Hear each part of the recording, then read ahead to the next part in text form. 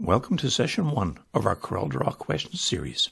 I'm Roger Wambold, Senior Product Trainer at Corel. In this video, we'll be answering questions submitted by CorelDRAW users on a variety of topics. If you're watching this video on YouTube, click on the link in the description below to get to our tutorial page. Here you can download a written copy of the Q&A session and submit your own questions to be answered in future videos. Let's begin. The Shape tool is missing from my toolbox. How do I get it to where it belongs? It's possible to inadvertently remove or delete a tool from the toolbox or an item from the toolbar. If this should happen, there's a couple ways to get it back. You can try the quick customize icon located here and ensure that the shape tool is selected. Here we can see that it is not. I'll click on this, click off this panel, and here I can see my shape tool is now back where it belongs. If this doesn't work, the other thing you can try is resetting the defaults for the application. Now there's two ways you can do that. The first would be to hold the F8 key down when you launch the application, and in doing so, you'll see a message that says, Are you sure you wish to overwrite the current workspace settings with the factory defaults? Answer yes to that. If by chance that still doesn't work, hold down the Windows key, which is to the left of the spacebar, and tap the letter R at the same time. That's going to open up the Run dialog box. Type in percent APP DATA percent and click OK. Now this will open up the application data folder from within Windows. In here, open up the Corel folder and rename the CorelDRAW Graphics Suite version that you want to reset. In doing so, when you relaunch the application, hold the F8 key down again. You'll get that same message. Are you sure you wish to overwrite the current workspace settings with the factory defaults? Say yes to that, and that will completely reset the defaults as though you freshly installed the application.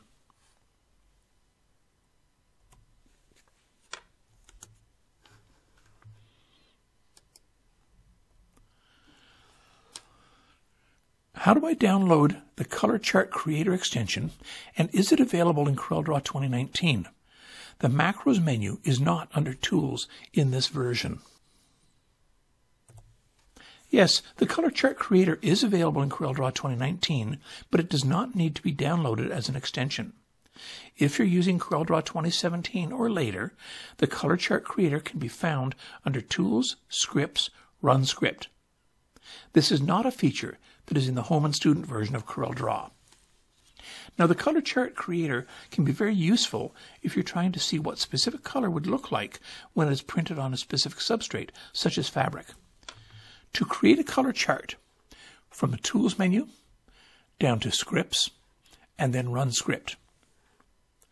Here, under Macros In, I'm going to select Color Chart Creator and click Run. Now, this particular script works with any color palette that is currently open on screen. And as you can see, I've got a Pantone uh, FHI polyester color palette opened up. I've got my document color palette and the default color palette. I'm going to select the Pantone palette. I'll leave my spacing at 0.2 and then click OK. The script has run and it has now created a document for me that I can then print out on a piece of fabric and get an idea as to what that color is going to look like once it's printed. I have a graphic that I use as a registration mark. How can I set it up as a symbol so that it is always available? Symbols are unique, user-defined objects that can be used to manage multiple instances of a design element in CorelDRAW. Using symbols is a great way to speed up the design process and can also reduce file size when using a symbol in place of an object that appears many times. If you edit a symbol in a CorelDRAW file, it will automatically update all other instances of that symbol throughout the document. To create a symbol is fairly easy. I'm going to take this custom registration mark, select it, right click, and I'm going to select Symbol, Create New Symbol. I'll give it a name. I'm going to call REG and then click OK. Now, if I open up my symbols Docker from the Windows menu, down to Dockers and then Symbols, I'll see the symbol in here. I can now drag out any number of occurrences that I want to and position those on the screen. When saving a file, I get a message stating that the font cannot be embedded. This is a font that I have loaded on my computer and a new file that I have created. There are four different levels of licensing for fonts. They are editable, installable, non-embedding, and print and preview. In CorelDRAW and in CorelDRAW Font Manager, we have filters that will allow you to filter by the licensing capabilities for these various fonts.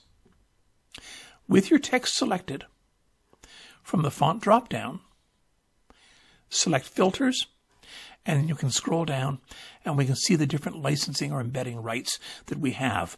If I select editable or installable, I will see fonts that I can use that will carry over to another document. The workaround to not being able to embed a font would be to convert the text to curves. What language is scripting done in?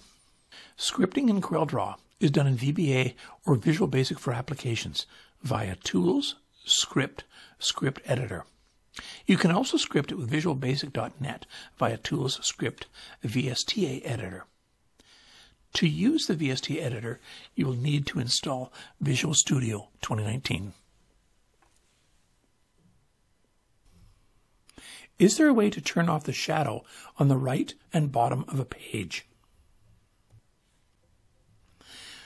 Well, this can make it easy to see the boundaries of the page. There may be a need or a desire to turn this off. An easy way to do that is to double click on the shadow of the page. This is going to go into the options panel under page size and simply deselect show page border. When I click OK, this border will disappear. Now, in order for us to bring that back, simply go to the layout menu, down to document options, and then you can turn this feature back on.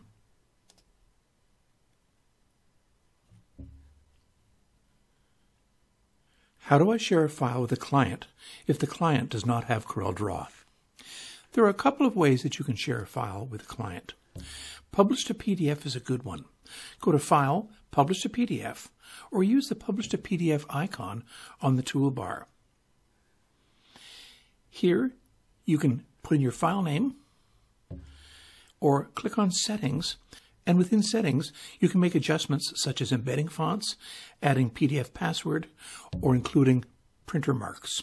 I'm going to cancel out of this. Now, the other way is to use the new collaboration tool that's available within CorelDRAW's subscription for CorelDRAW 2020.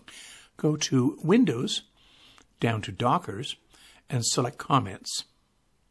In here, click on Save and Share, and then select Save and Share on this dialog box. What this will do is it's going to launch the CorelDRAW.app where you'll have the ability to share this file out. In this dialog box, you can copy the URL and put it into an email sent to the client, or by entering the email address here, when you close the dialog box, it's going to send an email to the customer that will then allow them to review the file make comments, suggestions, and send it back. Trying to align text to a path. It's a circle. But when I click on the fit text to path and then the object, I get the object you selected is invalid. What's happening? When fitting text to a path, there are a couple of things that need to be observed. First, the path should be a single vector object and not grouped with anything else.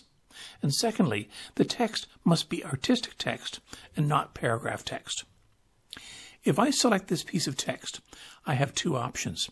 I can either go to the text menu and down to fit text to path, or I can right click and drag this to my ellipse, let the mouse button go, and select fit text to path. This has now effectively put the text on the path for me. I have the ability to move this to a different location if I wish, simply by grabbing this node and moving it around. Now, because this is a compound object, I cannot right click and drag and fit that to the path. What I need to do instead is go to my text menu and down to fit text to path, and then I can indicate where the path is. Once I'm happy with that, I'll simply click my left mouse button. That positions the text on the path. Now, in order to flip this over and, and reverse it, an easy way to do that is from the interactive property bar, I'm going to click on mirror horizontally and mirror vertically. Now I can grab this glyph and just pull that away to set the same distance as the one above it. Thank you for joining us for the CorelDRAW question session 1. If you're watching this video on YouTube, click on the link in the description below to go to our tutorial page. Here, you can download a written copy of this Q&A session and submit your own questions to be answered in an upcoming video.